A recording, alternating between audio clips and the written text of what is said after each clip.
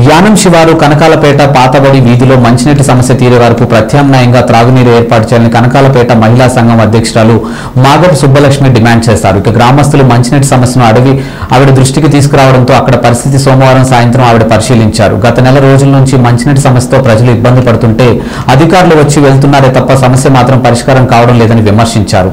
Water pipe line drainage water కలిసిపోవడంతో నీరు దుర్వాసన వస్తుందని తెలిపారు. ఇక కలుషిత నీరు తాగడం వల్ల ఆ కుటుంబాలను అనారోగ్యం పాలవుతున్నారని సంబంధిత అధికారులు వెంటనే చర్యలు తీసుకోవాలని సురక్షితమైన మంచినీరు అందించాలని గ్రామస్తుల తరఫున డిమాండ్ చేశారు.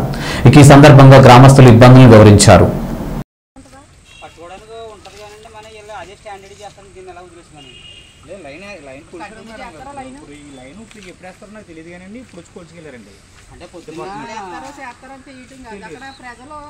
చచ్చిపోయేదాకా పెట్టకండి. చచ్చిపోయాక అప్పుడు వస్తారా గవర్నమెంట్ లేదు మేడం నేను ఇక్కడ డ్యూటీ చేసి ఇన్ఛార్జ్ వాళ్ళని క్వశ్చన్ చేయాలి మీరే? ప్రాబ్లమ్స్ అక్కడ సాల్వ్ చేయాలంటే ఎవరు చేయాలి? చేయలేండి. జేఈ గారు అలా వచ్చారు కదా, వాళ్ళు. చూసారు చూసారు మీరు. అది ఎలాగో పెడతారో మాకు తెలియదు రెండు రోజులు మీరు మాకు చేయించాలి. చెప్తాను మేడం. మా మా పై ఆఫీసర్లకి మీరు వచ్చారని తెలియజేస్తాను